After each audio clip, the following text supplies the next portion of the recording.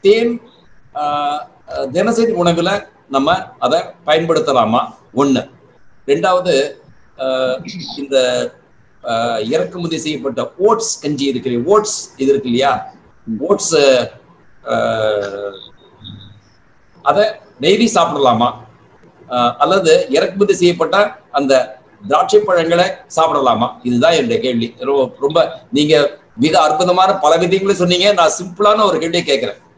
முதல் விஷயம் தேன் வந்து தினசரி சாப்பிடுறது வந்து இன்றைக்கு நேற்று இல்ல. ஆஹ் நம்ம அதை வந்து கிட்டத்தட்ட மூவாயிரம் வருஷமா நம்ம சாப்பிட்டுட்டு இருக்கிற விஷயம். ஜீவிகான்னு கேள்விப்பட்டிருப்பீங்க. புத்தருடைய மருத்துவராக இருந்தவங்க. அவர் சொன்ன விஷயம் என்ன தெரியுமா? ஒரு இருக்கிற பானங்கள்ல மிகச்சிறப்பான பானங்கள்னு ஒரு லிஸ்ட் கொடுக்குறாரு.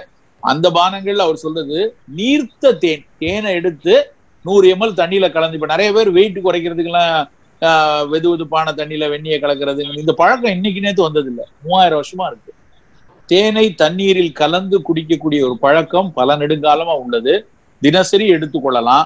தேனை வந்து சின்ன பிள்ளைகளுக்கெல்லாம் எப்பெல்லாம் இனிப்பு ஆசைப்படுதுங்களோ அப்ப நாக்கில் தடை விடலாம். ஒரு இட்லிக்கு தோசைக்கெல்லாம் சின்ன பிள்ளையில சாப்பிட்டா தப்பு இல்லை. சக்கரை வியாதி இருக்கிறவங்க தேன் வேண்டாம். சக்கரை வியாதி நல்ல கட்டுப்பாடு வந்ததுக்கு அப்புறம் எப்போது குறைவாக எடுத்துக்கிட்டா பெருசா தீங்கு வராது. ஆனா சர்க்கரையை கட்டுப்படுத்துவதற்கு முன்னாடி தேனை நம்ம ஏன்னா சர்க்கரையும் ஒரு கூட்டு தேனும் ஒரு கூட்டு சர்க்கரை. அது உள்ள போய் குளுக்கோஸ் லோடை வந்து கூட்ட தான் செய்யும். அதனால அவங்க தவிர்க்கலாம். மற்ற எல்லோரும் தேனை வந்து மிகச்சிறிய அளவு மிகப்பெரிய அளவுல எடுத்துக்கொள்ளலாம். தேன் வந்து அஹ், வெறுமன இனிப்பு மட்டும் கிடையாது. அதுல இருக்கக்கூடிய நொதிகள் அதுல இருக்கக்கூடிய மகரந்த கூறுகள் அதுல இருக்கக்கூடிய பல்வேறு கனிமங்கள் பத்தி உலகத்துல ஏகப்பட்ட ஆராய்ச்சி நடந்திருக்கு. ஒரு சாதாரண ரெஸ்பிரேட்டரி இம்யூனிட்டில இருந்து ஆரம்பிச்சு கேன்சருக்கான இம்யூனிட்டி வரைக்கும் தேன்ல வந்து பயன் தரக்கூடிய விஷயங்கள் இருக்கு. அதுக்காக ஒரு ஸ்பூன் தேன் சாப்பிட்டா அவங்களுக்கு ஸ்குவாமஸ் செல் கார்சினோமா போயிருமான்லாம் கேட்கக்கூடாது. தேனை சின்ன வயதுல இருந்து எடுத்து வரும்போது நம்ம புற்றுக்கான தாக்கத்திலிருந்து நம்ம விடுபடுவதற்கான வாய்ப்புகள் மற்றவர்களை காட்டிலும் நமக்கு அதிகம். இது முதல்ல. ஓட்ஸ் நமக்கானது இல்லைங்க. ஓட்ஸ் நான் பல கூட்டத்துல சொன்னதுதான். ஓட்ஸ் வந்து ஐரோப்பிய குதிரைகளுக்கானது. தயவு செய்து நம்ம வந்து இந்திய கழுதைகள் அதுக்கு பின்னாடி போயிடக்கூடாது. நமக்கு தேவையே இல்லை.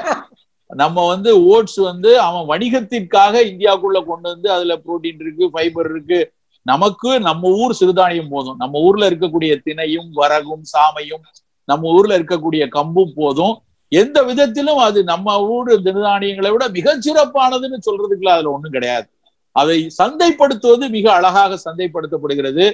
மிகப்பெரிய அளவில் வணிகத்துக்கான உத்திகளோடு மிகப்பெரிய அளவுல அதுக்கான பிராண்ட் அம்பாசிடரோடு சொல்லி அதை வந்து கொண்டு வராங்க.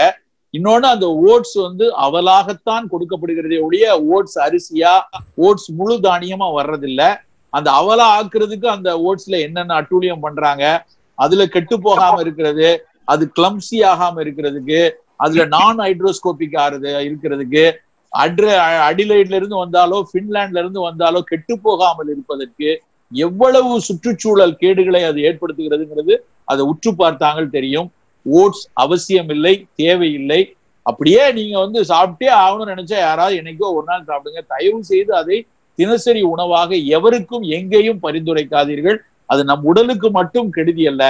ஒரு நாடு தன்னிறைவாக இருக்க வேண்டும் என்றால் நம் நாட்டு உணவு நம் சக விவசாயி பயன்படுத்தக்கூடிய உற்பத்தி செய்யக்கூடிய உணவை எடுத்தால் தான் அவருடைய வேர்வையினால் உருவாக்கப்படக்கூடிய உணவு நமக்கு இருந்தால் மட்டும்தான் அந்த நாடு நல்லா இருக்க முடியும். அதனால ஓட்ஸ் நமக்கு அவசியம் இல்லாத உணவு. அதுவும் வேண்டாம். பேரிச்சம்பழம் சொல்றாங்க இல்லையா? அது சாப்பிடலாமா? பேரிச்சம்பழம் என்னைக்காவது ஒரு நாள் எடுத்துக்கலாம் அதுவும் வெளிநாட்டுல இருந்து வருது. நம்ம ஊர்லயே நிறைய இறக்குமதி பண்ணி தான் பண்றாங்க. பட் பேரிச்சம்பழம் வந்து ஒரு நல்ல இரும்பு சத்து அதிகம் உள்ள நிறைய கனிமங்கள் உள்ள பொருள் கண்டிப்பா எடுத்துக்கொள்ளலாம். தினசரி எடுத்துக்கொள்ள தப்பு இல்லை. ஒன்னு ஒண்ணு எடுத்துக்கொள்ளலாம். அதுவும் சக்கரை வியாதிக்காரங்க ரொம்ப எடுக்கக்கூடாது. சக்கரை வியாதிக்காரங்க சுகரை ரொம்ப கூட்டும்